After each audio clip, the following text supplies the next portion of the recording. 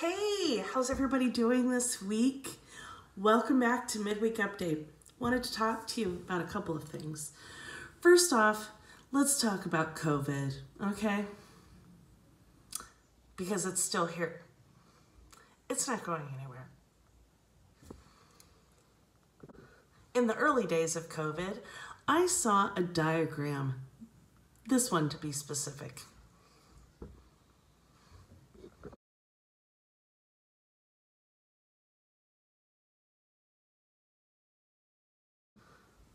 I saw that and I gotta be honest with you, I kind of freaked out.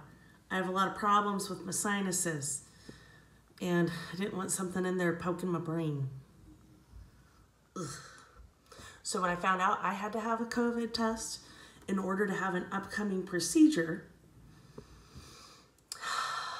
I was not happy. To say I was anxious would be putting it lightly. But I'm here to tell you that the process was so easy, simple, and not bad at all. And I made a big deal about nothing, which is really on brand for me. So, let me tell you, it took over a week to get that appointment. The, the healthcare industry, they're working so hard and procedures and things are changing daily for them. So this is to be expected. Expect delays, but they will get to us, okay? So finally got that appointment and it's actually a drive through that they have set up with cones and tents. So uh, I pull up, there's, an, uh, there's a guard holding a sign that says, stay in your vehicle and do not roll down your window unless instructed. Got it, cool. Then I pull up to the tent, I pull out my ID, show them the ID through the window, they check me in, then they just move me along. I get to the place where I'm actually going to be taking the test and start to explain all my medical problems with my nose. And then she shows me the swab and says, I'm just going inside your nose. Just, you know, she's like, it's nothing like the, the pictures that you've seen that go all the way back. And I was like, let's do this.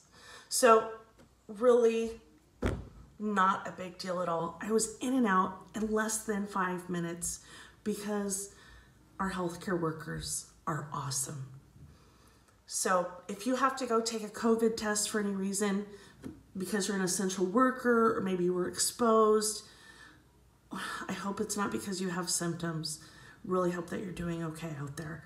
But if you have to go get a COVID test, just know it really isn't a big deal. And also, they are randomly doing cheek swabs. So either way, it's not terribly invasive and it's really quick.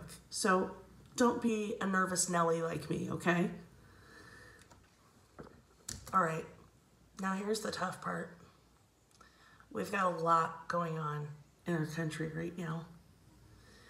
And the last thing anybody needs is one more white person trying to white explain the black experience. Let me tell you something. I don't know what they've gone through, and I will never understand. I've experienced struggles because of my weight. I'm an actor. I've lost parts because of my weight.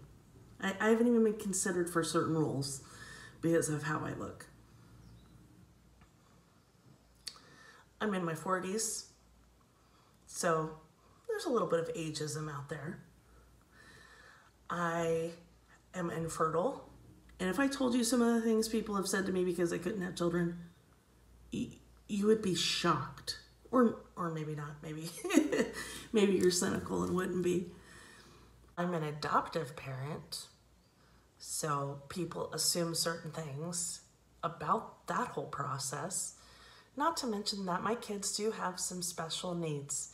And let me tell you, when there are certain behaviors, people just assume things and are not afraid to express their judgment on you publicly in the line at the checkout of the grocery.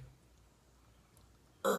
But even all of that does not hold a candle to what our brothers and sisters of color experience on a daily basis because of the color of their skin.